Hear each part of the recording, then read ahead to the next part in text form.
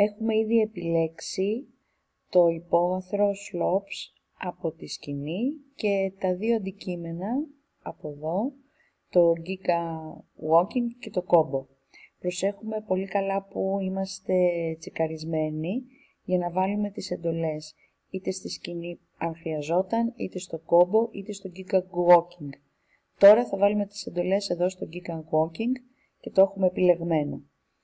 Ε, ξεκινάμε λοιπόν, ε, όταν γίνει κλικ ε, στη σημαία, στη βάντα. Το Giga Walking είναι μεγάλο, έχουμε πει να του αλλάξουμε λίγο το μέγεθος, σύμφωνα με το σενάριό μας. Πάμε λοιπόν εδώ, όρισε το μέγεθος σε 40% για παράδειγμα.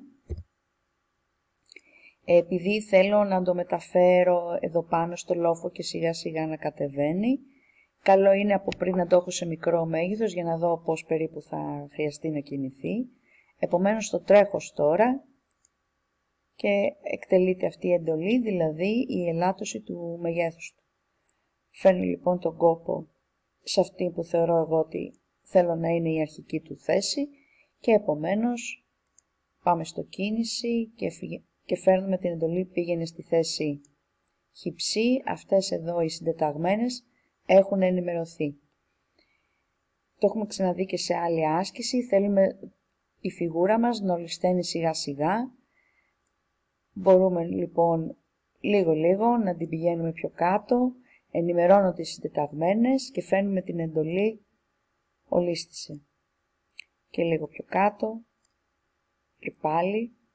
Μπορούμε αν θέλουμε να παίξουμε με τα δευτερόλεπτα. Εδώ και αστάς εδώ στο τέλος σε αυτή την τελευταία εδώ θέση. Αν το τρέξω τώρα ως εδώ, έχω ένα αποτέλεσμα, κάπως έτσι. Ωραία.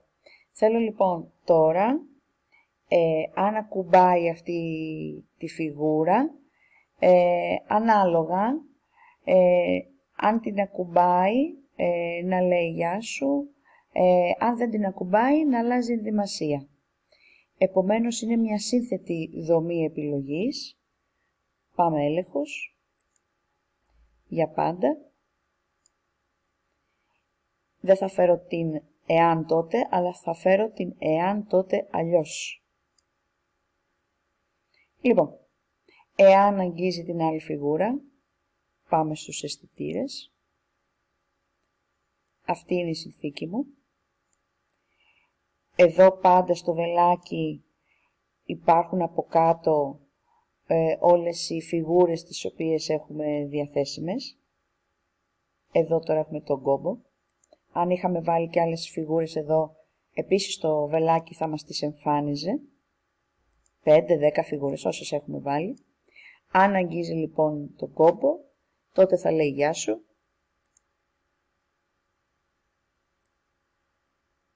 Γεια. Για ένα δευτερόλεπτο ας πούμε. OK. Okay. Αλλιώς, να αλλάζει φιγούρες. Επομένως, ε, επόμενη δημασία. Ε, συγγνώμη, όχι να αλλάζει φιγούρες, να αλλάζει ενδυμασίες. Επόμενη ενδυμασία λοιπόν και ας το τρέξουμε σε εδώ.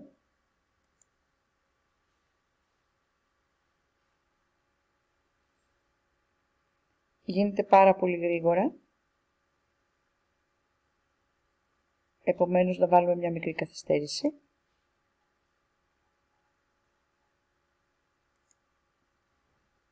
Περίμενε έτσι ώστε να βλέπουμε τις ενδυμασίες πιο καθαρά.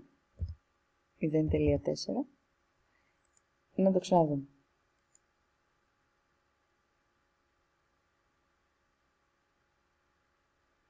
Και βλέπουμε καθαρότερα την αλλαγή της ενδυμασίας.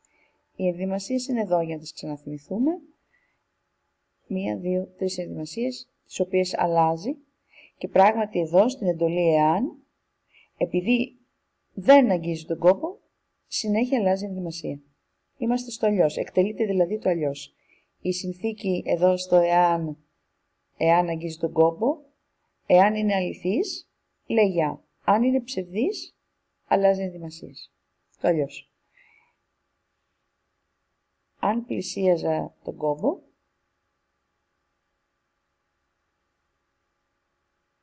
ας το πάρω, ε, να τον πιάσω, να τον πλησιάσω. Λέει γεια. Το βλέπουμε. Στις επόμενες μας κινήσεις θα προγραμματίσουμε τον κόμπο έτσι ώστε να κινείται από μόνος του και αν τύχει να ακουμπήσει τη φιγούρα να πει το γεια. Τώρα το κάνω σένοντας το ποντίκι, μεταφέροντας τον κόμπο δηλαδή εγώ από μόνη μου και βλέπουμε ότι η συνθήκη είναι αληθής, ακουμπάει τον κόμπο, άρα λέει γεια. Δεν τον ακουμπάει τον κόμπο, αλλάζει ενδυμασία. Επίσης, στο τρίτο μέρος της παρουσίασης του προγράμματος έχουμε πει όλο αυτό να σταματάει ε, πότε, όταν γίνει κλικ στο πλήκτρο του διαστήματος. Μπορούμε να βάλουμε λοιπόν πάντα στο περιβάλλον του Scratch και άλλα ξεχωριστά μπλοκ εντολών ε, στο ίδιο αντικείμενο. Να δώσω ένα λοιπόν απλό παράδειγμα σε αυτή την άσκηση. Συμβάντα. Όχι όταν γίνει κλικ στη σημαία, οπότε να σταματάει όταν πατηθεί το πλήκτρο διάστημα, να σταματάνε όλα. Λίγο πιο κάτω σταμάτησε το όλο. Αυτό είναι ένα πολύ σημαντικό σημείο εδώ που το θίγουμε για πρώτη φορά, ότι μπορούμε να έχουμε παράλληλα ε, πολλά μπλοκ εντολών. Ένα που ξεκινάει με όταν γίνει κλικ στη σημαία και ένα το οποίο εκτελείται όταν πατηθεί το πλήκτρο διάστημα. Αυτό μου σταματάει τα πάντα. Ας το τρέξω. Ας βλέπουμε και τον κώδικα.